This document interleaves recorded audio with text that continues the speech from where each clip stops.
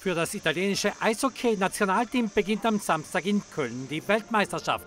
Die Azzurri bestreiten übermorgen ihr erstes Match gegen die Slowakei. Am Sonntag trifft dann Italien auf Russland. Nächste Woche sind Lettland, die USA, Schweden, Deutschland und Dänemark die Gegner der Italiener. 14 Südtiroler stehen im 25-köpfigen italienischen WM-Aufgebot. Die beiden Torhüter Andreas Bernhard und Gianluca Valtini, die vier Verteidiger Ecker, Helfer und Hofer sowie die acht Stürmer Andergasser, Anton Bernhard, Frank Gander, Insam, Diego und Simon Kostner und Alex Lampacher. Mit Torhüter Cloutier und Diego Scandella hat Nationaltrainer Stefan Mayer diesmal nur zwei Doppelstaatsbürger einberufen. Italien hat vor der WM fünf Testspiele bestritten und alle fünf verloren. Zweimal unterlag die Nationalmannschaft Österreich. Außerdem verlor sie gegen Kasachstan, Slowenien und die USA.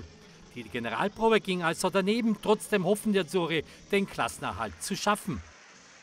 Ja, wir gehen mit dem Ziel hin, den Klassenerhalt zu schaffen.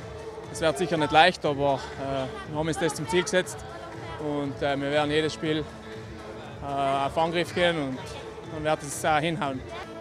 Ja, ich glaube, wir können durchaus gegen äh, Dänemark für eine Überraschung sorgen. Wir können gegen Deutschland sicherlich auch mitspielen, auch wenn sie vor heimischem Publikum sicher nochmal äh, ganz was anderes äh, zeigen. Äh, Lettland siege zwar auch stark, aber ich glaube, es wird die Tagesform entscheiden. Und wenn wir gute äh, Systeme spielen und kompakt bleiben und dann vielleicht das eine oder andere Tor vorne reinhauen, dann wer weiß. Wir werden alles geben und ähm Favorit sein wir nicht und ähm, das ist einfach eine gute Erfahrung für die jungen Spieler. Und ein, zwei Spiele, vielleicht werden wir schon gewinnen und Zeit brauchen wir, dass wir bleiben.